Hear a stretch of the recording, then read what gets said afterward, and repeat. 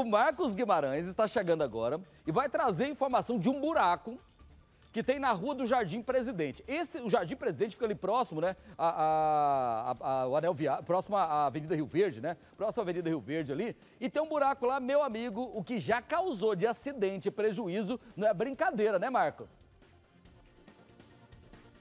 Exatamente, Loares. O pessoal já relatou aqui que muitos motociclistas já caíram durante a noite nesse buraco aqui, viu? Esse buraco, Loares, acredite, tem mais de dois metros. Isso porque a gente usou uma ferramenta super tecnológica que a gente trouxe de volta aqui no Balanço Geral, que é a boa e famosa trena. Vou chamar para cá o Léo. Faz favor. Vamos medir aqui esse buraco aqui ao vivo. Vamos lá. Daqui, quanto deu aí? 2,23 dólares, mais de 2 metros. Vamos fazer o contrário aqui? Olha só. Aqui a gente tem quanto? 1,52. 1,52. Você que trabalha aqui próximo, me fala quais são os prejuízos desse buraco aqui para a comunidade? Ah, pneu, para-choque, motociclistas, pai de família caem aqui. Às vezes, até bicicleteiro mesmo. Às vezes está de trás de algum caminhão, não vê o movimento e ainda acaba caindo aqui. Loares, agora, é, sem chuva, né? Porque o sol está rachando aqui, é possível ver esse buraco tranquilamente, mas quando chove, a água acaba tampando aqui, tapando a, a visibilidade, e aí é prejuízo na certa, né? Com certeza, para toda a população. Já fizemos o pedido aqui, eles falaram que já está até tampado já. Já está tampado? No aplicativo da prefeitura. Já falaram que já está tampado. É, mas aqui o que a gente vê, né? É, por isso que a gente recorreu a esse é entraram em contato com a gente. Olha só a situação desse buraco. O pessoal já tentou, Laura, jogar terra por aqui, já tentou jogar pedra para poder é, minimizar o problema.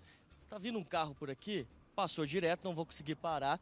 Mas essa é a situação enfrentada pelos moradores aqui dessa região, porque quando chove, né, o que a gente informou, quando chove, o pessoal perde a visibilidade, pode é, ocasionar alguns acidentes. E claro, o pessoal vai tendo prejuízo, né? Porque muita gente já perdeu para-choque aqui. Ô, Léo, pneu, o pessoal costuma estragar o pneu aqui, a roda. Demais, empenar, estourar pneu. Principalmente mulheres, que tem, a, que tem mais, menos capacidade. Ô, oh, meu Deus. Pois é, o pessoal tá falando aqui, o pessoal vai passando por aqui, ô Loares, e aí acaba não vendo, né? Mas isso é todo mundo. É, não é homem, mulher, todo mundo, porque não dá para ver, o pessoal acaba passando aqui, independente é, do sexo da pessoa, né? O pessoal vai passando por aqui, acaba estragando parte do carro, o pneu, mas é um grande problema enfrentado aqui pelos moradores. E claro, a gente entrou em contato